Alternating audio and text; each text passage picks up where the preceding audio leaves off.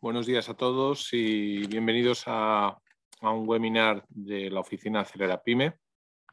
Eh, para aquellos que es la primera vez que asistís a las sesiones de, los webinars, pues os explicaré brevemente, pues primero eh, qué es la oficina Acelera Pyme y qué desarrollamos y luego, si acaso, pues ya entraremos directamente en el, en el webinar de hoy. Eh, bueno, la oficina Acelera Pyme es un proyecto, en este caso de red.es, desarrollado a nivel nacional a través de un acuerdo firmado con Cámara España, por el cual en cada Cámara de Comercio pues, había una oficina eh, de representación, en este caso sobre materias vinculadas a transformación digital, donde se ofrece asesoramiento y también sensibilización y divulgación sobre la transformación digital. En este caso, eh, en la Cámara de Comercio de Mallorca, tenemos la oficina Acelera Pyme, que en este caso es dirigida por mí, y básicamente nuestra línea de actuación son tres, ofrecer servicios de asesoramiento gratuito a pymes y autónomos en materia de transformación digital. En segundo lugar, eh, desarrollar eh, sesiones de sensibilización, ya sea a través de webinars y jornadas como la que haremos hoy. Y por último, la línea de eh, subvenciones o información sobre subvenciones y ayudas que puedan desarrollarse vinculadas a la transformación digital. En este caso, básicamente eh, en este año sobre todo, hablando sobre el kit digital y sobre el proceso de ayudas para el desarrollo del kit digital. Em, simplemente recordaros que todas las sesiones que desarrollamos, en este caso en, materia del kit digital, eh, pues, em, eh, y en otras cuestiones relacionadas con la transformación digital, eh, pues siempre son accesibles de manera gratuita por cualquiera de las personas que, quieran acercarse a la cámara o conectar con la cámara. Y recordad que existe la página web eh, propia de oap.cámaramayorca.com donde podréis encontrar pues, no solamente la información sobre las sesiones, sino también los contactos y, demás cuestiones. Pues ya sin más eh, dilación, si acaso, bueno, pues explicaros que hoy desarrollamos una nueva sesión de, mm, un webinar perdón, sobre materias de transformación digital y sobre el kit digital. Y contaremos con la presencia de, en este caso, de Marta, eh, que es eh, Head of Marketing de, de Netios, ¿vale? Y para que todos aquellos que no conozcan, Netios es una plataforma, eh, digamos, de divulgación y colaborativa en materia eh, de la creación de, contenidos eh, digitales, ya sean webinars, etcétera, bajo un prisma, yo creo, bastante novedoso. Y, bueno, hoy nos acercará un poquito al funcionamiento de este, este concepto de, comunidades virtuales. ¿vale? Como os decía, Marta es jefe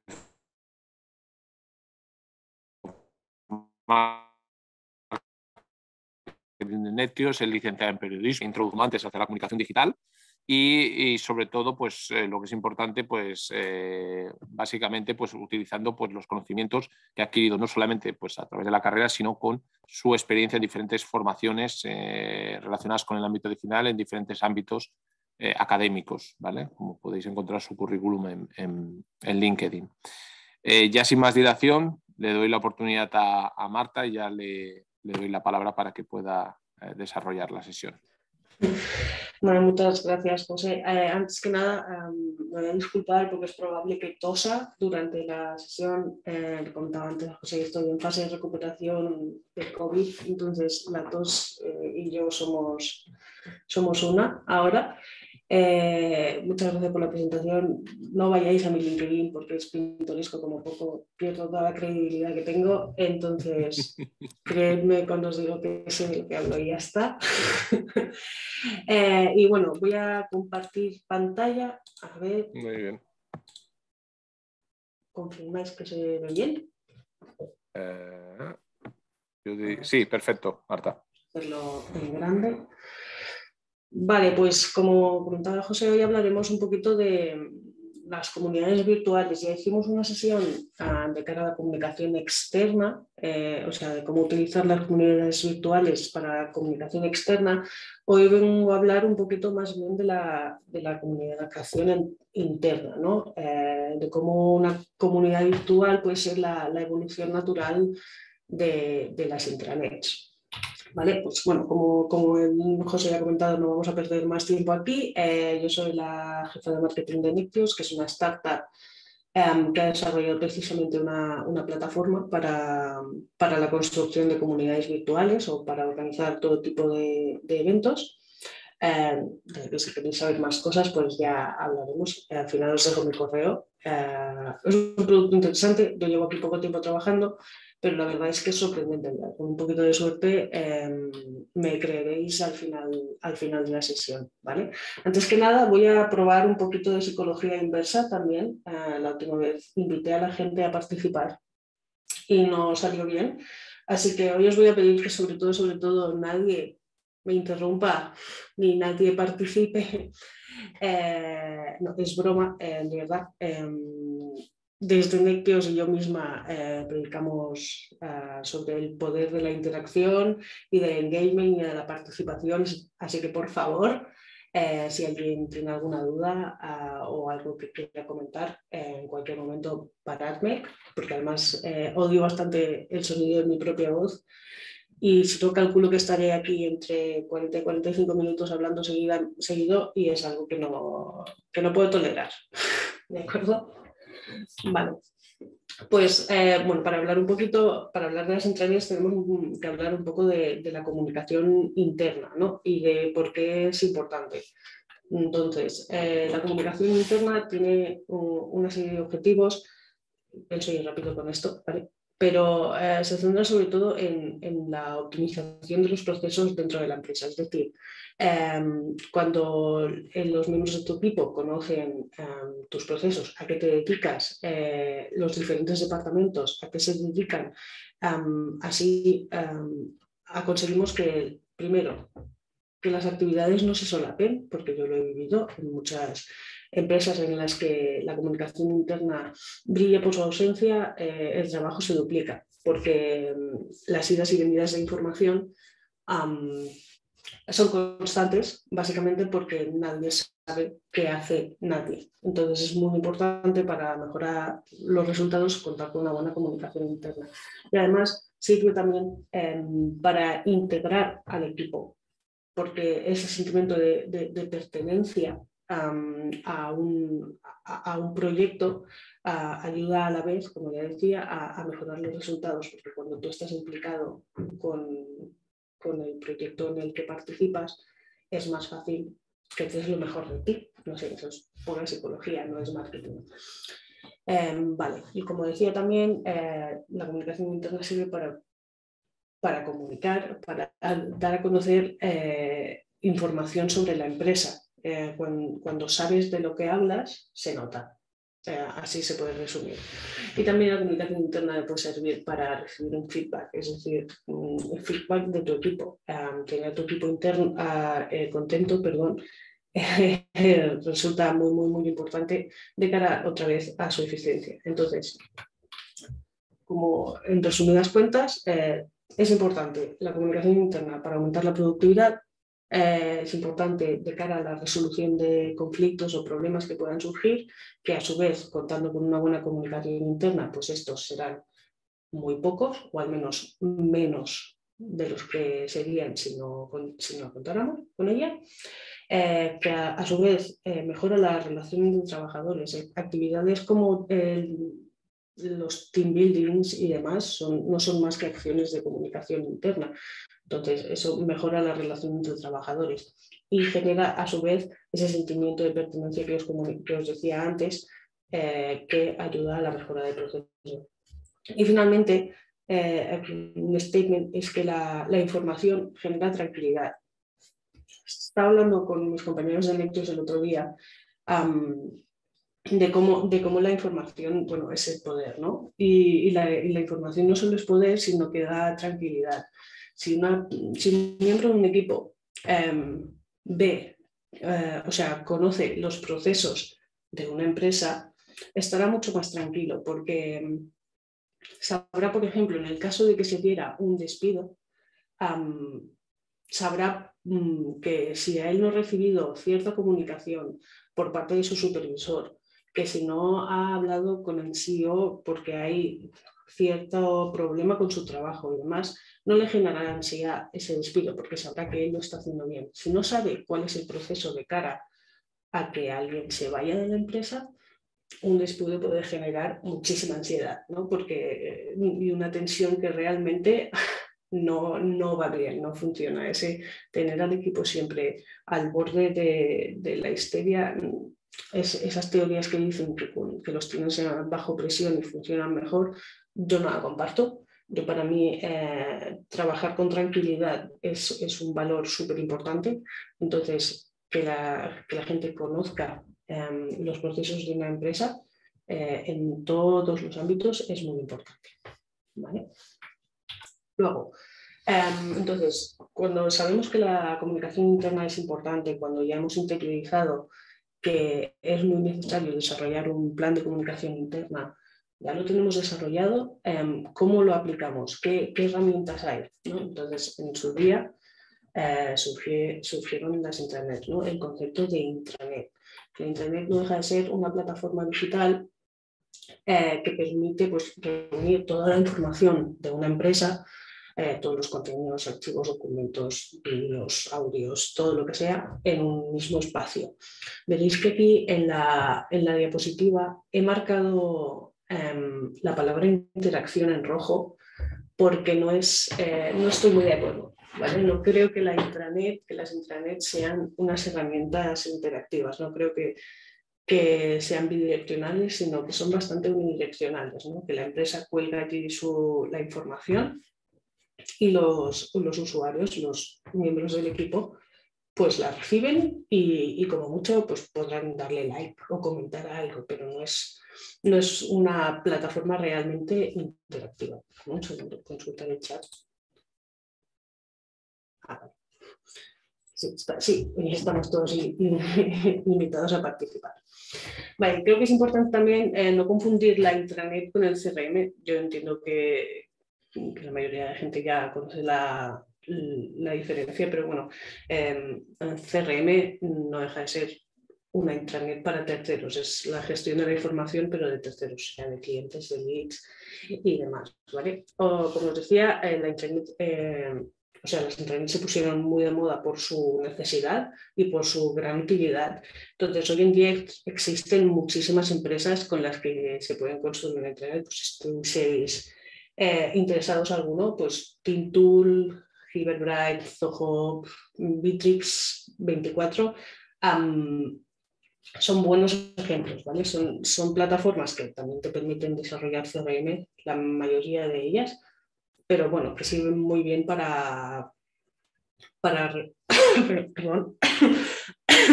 para construir una eh, como os decía, una, con, una rápida búsqueda en Google encontraréis, vamos, todas las plataformas que necesitéis y más. Vale, ¿qué, ventajas tiene entonces una intranet ¿no? respecto a, otros formatos anteriores de comunicación interna? Pues que te permite unificar la información, con lo cual eh, ahorras mucho tiempo a tu equipo eh, a la hora de buscarla y, eso implica que se optimiza. ¿vale? Es, es, eh, es un ciclo bastante rápido. A su vez, implementar una, una intranet eh, no es muy costoso. Es decir, puede, eh, puede parecer que en un principio se trata de una inversión muy alta, pero es una inversión, no es perder dinero. Es decir, que es una inversión que se recuperará eh, rápidamente gracias a la mejora de los procesos y de la eficiencia del equipo. Luego, es adaptable a todas las necesidades de, de, los diferentes departamentos de la empresa. Es decir, marketing lo utilizará para unas cosas, eh, administración la utilizará para otras y ventas la utilizará para otras. Eh, las siempre son adaptables en mayor o menor medida eh, y pueden, o sea, cada departamento puede usarlo para sus necesidades básicas. Y además, lo bueno de la Internet también es que es accesible 24 horas al día. esto va de cara a la gente que igual se inspira a las 3 de la mañana a la hora de trabajar. Hoy en día está como muy de moda ¿no? la flexibilidad horaria, eso igual es un extremo. Pero antes, parece una tontería hoy en día con Internet ¿no? y con los ordenadores, pero antes si alguien se encargaba de, de distribuir la información o de gestionarla, eh, dependías de esa persona para poder acceder a ella. Hoy en día con las intranets, pues evidentemente está ahí colgado en tu nube, tú puedes acceder a la información siempre que quieras, no, no necesita de gestión humana para acceder a ella. ¿no? Pero, pero uh, no, es, uh, no es solo todo lo que reluce en el mundo de la intranet, ¿no? porque realmente, y yo lo he vivido, eh, implementar una intranet es, es, un caos en potencia. Al ser humano nos cuesta el cambio, eso lo, lo he hablado muchas veces, nos cuesta cambiar. Eh, y de primeras mucha gente se resiste a, la, implementación ¿no? de, un, nuevo proceso o de una nueva herramienta. Pues es un caos potencial. Y además, mmm, los varios ejemplos que he visto en Internet pueden resultar complejos. Y no tanto complejos como poco intuitivos en cuanto a interfaz, ¿no? Eh, y eso hace que, los usuarios se puedan perder al principio, al menos hasta en ese margen de tiempo que, se puede tardar en, en, entender un poquito cómo funciona la herramienta. ¿vale? Eh, y además, como, como saltaba antes, eh, no hay una interacción real entre los diferentes usuarios de la Internet. Tú puedes colgar la información y la gente la verá, pero no hay, no hay interacción real. Eh, no hay esa conexión que hoy en día nos gusta, bueno, yo creo que debería haber entre, entre empresa y equipo, ¿no? Um, para, para, tener a tu equipo contento, para tener a tu equipo implicado, como decíamos, eh, es, es, interesante que tengan formas de comunicarse directamente contigo como empresa y entre ellos como equipo.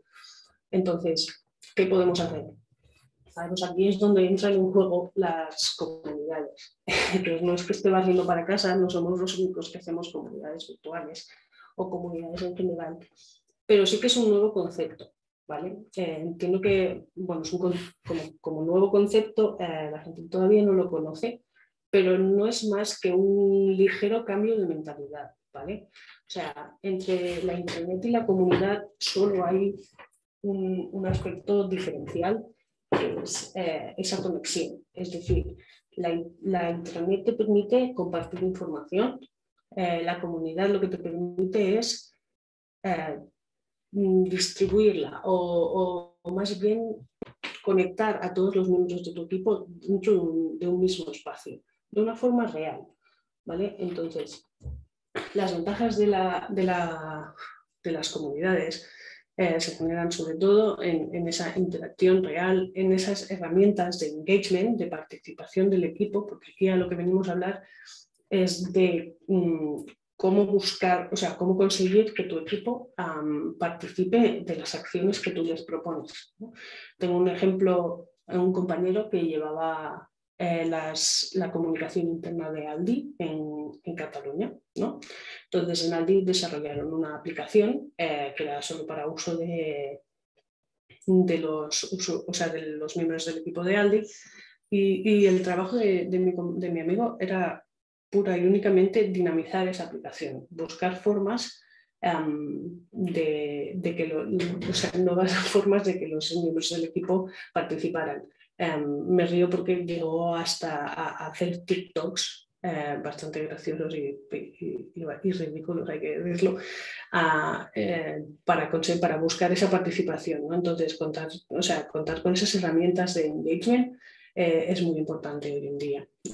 Las comunidades te dan, ofrecen la oportunidad de, contar con ese feedback uh, directo e incluso en directo, ¿no? porque tú en una comunidad puedes contar con un chat eh, en vivo o con salas de, reuniones o de, hangouts para, poder comentar cualquier tema. Entonces, además, una comunidad virtual puede llegar a ser autogestionable, es decir, no necesitarás uh, de un moderador al tratarse de una comunidad interna, si fuera externa, evidentemente sí, pero es autogestionable en el sentido de que los miembros del equipo pueden encargarse, cada uno podrá, o sea, cada uno publicará o, compartirá lo que, lo que considere oportuno. Una vez ese ciclo de engagement de participación se inicia, es autogestionable, no necesitas a una persona encargada específicamente de la dinamización de esta comunidad. Entonces, ¿qué necesito para construir mi comunidad? ¿no? Quiero una comunidad interna, ¿qué necesito? Pues evidentemente necesito un plan de comunicación interna en el que haya quedado definido los objetivos y los key results, es decir, cómo voy a alcanzar esos objetivos. Y algo que es muy transversal en todos los ejercicios de marketing del mundo eh, es la resiliencia eh, para llevar a cabo ese plan de comunicación interna en este caso. muchas veces me encuentro que la gente que no trabaja en marketing o que lleva poco tiempo trabajando en ello espera resultados inmediatos. Eh, eso no, no, existe. Por mucho que vivamos en la era de la inmediatez, los resultados inmediatos en marketing no existen. Entonces hay que ser resilientes, hay que tener paciencia y hay que, hay que creer en, en, tus objetivos, ¿vale? Porque si no, eh, es muy difícil que, que, los cumplas. Y luego finalmente pues, eh, necesitas una plataforma que te permita pues, ejecutar ese plan, ¿no? que cuente con las herramientas, que cuente con las funcionalidades eh, que tú te has planteado para tu plan. ¿vale? Entonces, digamos que tengo todo esto, ¿no? que ya, ya ya, ya tengo la plataforma, ya sé que quiero construir o ya tengo construida mi comunidad. y ahora lo que quiero ¿no? es que los miembros de mi equipo participen, que es siempre eh, el problema, siempre es el problema. ¿Cómo, cómo conseguir ¿no? que, que, los miembros de mi equipo eh, participen o, o, formen parte de las actividades que yo les propongo? Que viene a ser siempre el, el, mismo problema de cara a la comunicación externa. ¿no? Tengo mis redes sociales y yo publico cada día y tengo muchos seguidores. Ahora, ¿cómo consigo que esos seguidores interactúen conmigo? ¿vale? Pues voy a dejaros aquí tres o cuatro consejos que son como las lentejas, uh, pero que sí que son bueno, bastante bulletproof, ¿no? de, son de pura lógica. Para empezar, eh, empieza preguntando. Es decir, para conocer los intereses de tu equipo, para lograr que este equipo se implique en tu, en tu día a día, eh, la única forma, o la más fácil al menos, es preguntar. Em, tú puedes mandar una, una, newsletter interna, puedes preguntar directamente, pero conocer los intereses de tu equipo, ya no, sea, ya no solo de cara a la empresa, sino en general, eh, dentro del mundo personal, eh, si tú planteas actividades o, retos o cualquier tipo de cosa en tu comunidad interna que em, estén alineados con los intereses eh, o hobbies de, varios empleados, pues esos empleados participarán en el momento que participen porque se sienten implicados, porque les toca en la patatita lo que les estás proponiendo. Entonces, esos, esos propios empleados o miembros del equipo ya se encargarán de que otras personas participen también, y es donde se inicia un, ciclo bastante em, reciclable, ¿no? Eh, autogestionable que decíamos, de, personas que participan sin necesidad de intervenir, o sea, de la intervención de un moderador. ¿vale? ¿Qué más? los retos o, challenges em, son, son muy, muy eficaces también en el sentido no, no venimos aquí a aplicar a nadie, pero se trata de acciones de participación que estén alineadas con esos intereses que previamente hemos descubierto gracias a preguntar. Em, que además esos intereses pues, pueden ir por dos ramas. Pueden estar alineados con, los intereses de la empresa o con los intereses, como hemos dicho, del equipo. Ah, desde Nitios, por ejemplo, em, como valores de la empresa em, estamos muy implicados en el tema del medio ambiente. Entonces, para el mes de, abril planteamos un, reto dentro de nuestra comunidad interna, que contamos con una de ellas, en el que cada miembro del equipo tenía que llevar a cabo alguna acción que fuese favorable para el medio ambiente, eh, que, no, que fuera algo que no hicieran de forma regular. ¿no? Entonces la gente dijo, pues reciclar ropa, pues ir al punto verde que llevo, lo tengo pendiente de hace mucho tiempo. Entonces es buscar esa serie de, bueno, era tan fácil como que lo compartieran en el foro que, que tenemos. Entonces, es forma de generar engagement, la gente puede votar entre sí cuál es la mejor propuesta, eh, pueden darle like, pueden compartirlo eh, entre ellos. Es, es, bueno, no deja de ser una red social interna, ¿vale? Pero a la vez también están de cara al mes de mayo, ¿no? por ejemplo, proponemos en el mes de mayo, es el Día del Orgullo Friki, pues preguntaremos de qué forma, qué te gusta hacer en tu tiempo libre, ¿no? Eh, ¿Te gusta jugar a juegos de mesa? ¿Te gusta mm, yo mm, hacer puzzles? Eh, no lo sé, pero es un poco buscar esos temas de interés que, que puedan ser eh, implicativos ¿no? para tu equipo y, ir con ellos. Y, para, y con ellos pues plantear diferentes retos, los diferentes, em, como digo, foros abiertos, en plan, porque vuestra comunidad interna ah, puede convertirse en, la mejor fuente de feedback de cara al estado en que se puedan encontrar tus, tus empleados. Que el simple hecho de preguntar ya mejorará ese estado, porque eh, que, o sea, mm, en los equipos, en todo miembro de tu equipo, le gusta sentirse valorado. Entonces, cuando tú le preguntas a alguien, eh, oye, ¿cómo estás? Ya ese, ese simple hecho ayuda. Pero si además le preguntas, ¿qué te gustaría que pasara en la empresa? ¿O qué aspecto de la empresa te gusta más? ¿Qué aspecto de la empresa te gusta menos? Em, en estos pequeños detalles siempre ayudan a este sentimiento de, implicación, ¿no? de pertenencia, que ayudará a la vez que, a que ese empleado esté mm, más a gusto y por lo tanto trabaje mejor. ¿vale? Y, para empezar, y para finalizar, con que iba a decir, eh, el tema de gamificación. Eh, cuando digo gamificación no me refiero a, a videojuegos, sino bueno, este concepto que se ha puesto también de moda, es por algo. O sea, esa competencia leal, ¿no? un poquito de competitividad eh, sana que nunca viene, nunca viene mal dentro del mundo de la comunidad.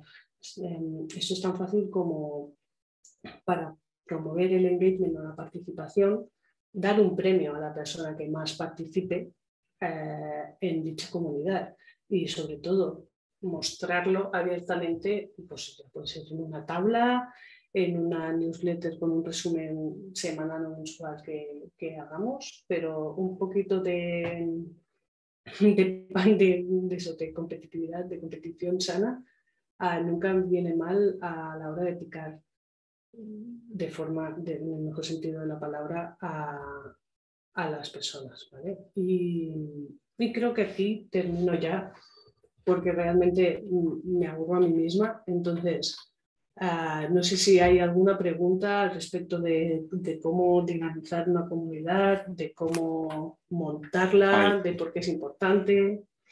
Sí, sí tengo, sí tengo alguna pregunta. Eh, por ejemplo, me plantean el hecho de, bueno, sobre todo cuando, cuando estás hablando de empresas que son relativamente pequeñas, sobre todo cuando estamos hablando de crear una comunidad, sobre todo de comunicación, que cómo, cómo implementar un proceso en una, en, una, en una, empresa o en una pyme, pues eso, de una media de, de yo sé, 5, 6, 7 trabajadores, que es un poco el tipo de tejido que tenemos en Mallorca. Bueno, em, es que cuanto más pequeña la empresa, más fácil es.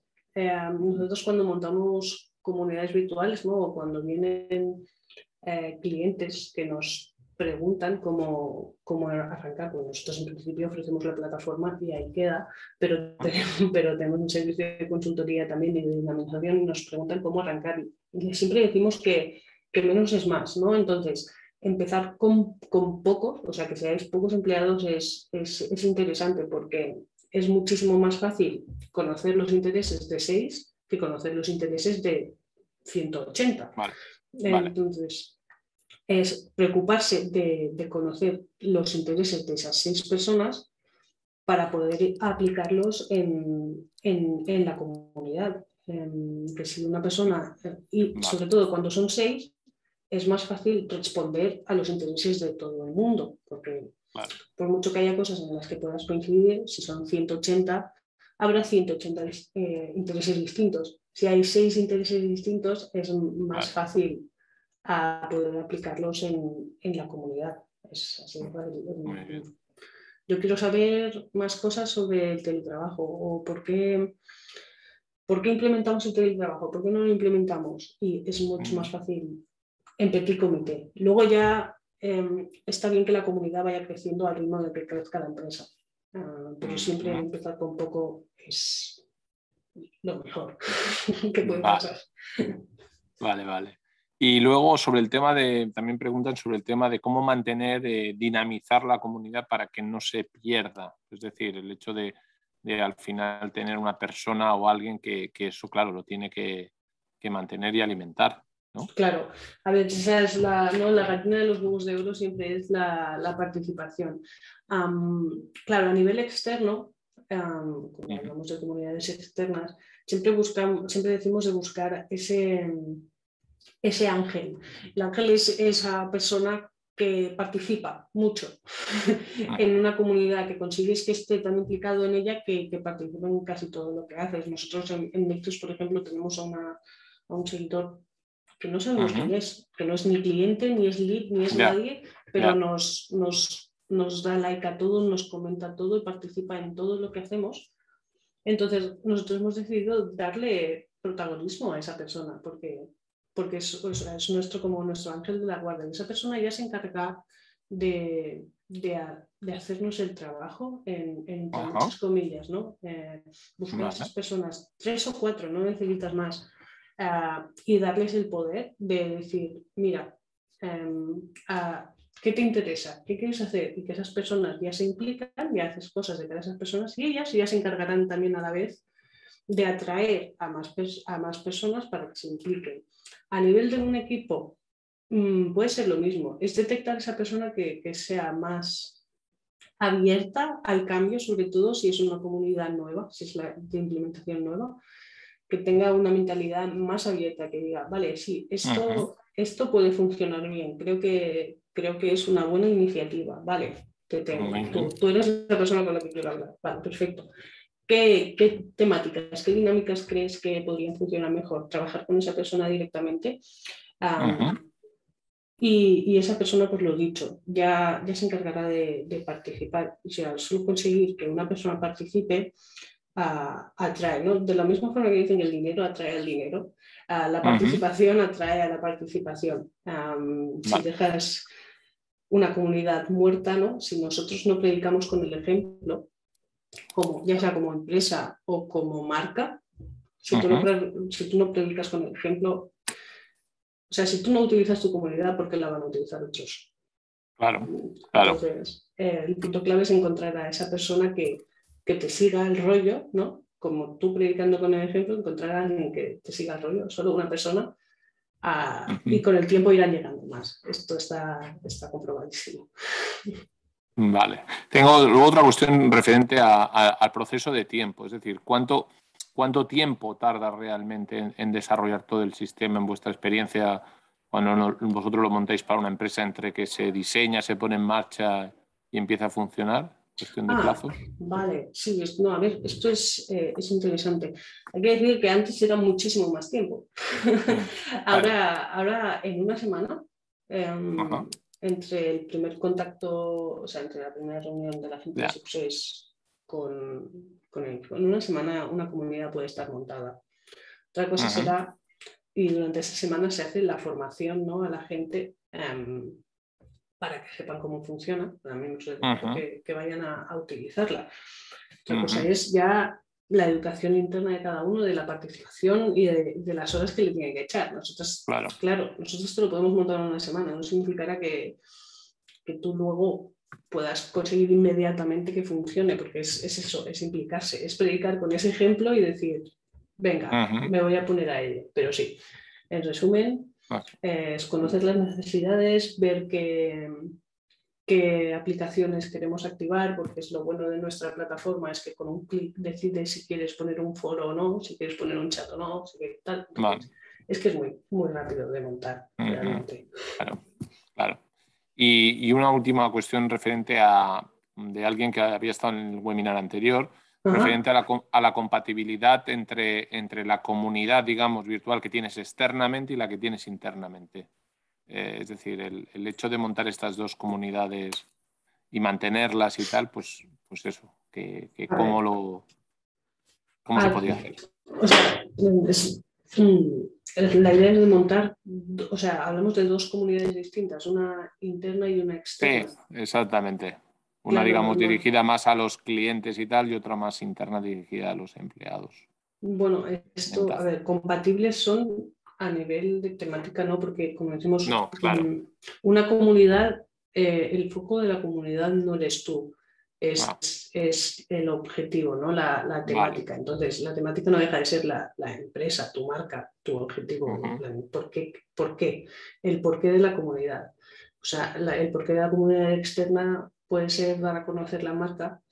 El porqué de la comunidad interna es eh, la implicación de los trabajadores de esa marca.